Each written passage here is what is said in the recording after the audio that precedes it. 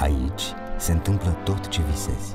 Poți fi cel mai iubit erou și cel mai mare campion. Poți să cânți, să strălucești, să cucerești inimi și chiar să afli drumul către tinerețe fără bătrânețe. Aici ești tot ce vrei să fii. Un loc magic își deschide porțile. Vara începe în joacă. De 1 iunie redescoperă Joaca de-a copilăria la TVR2.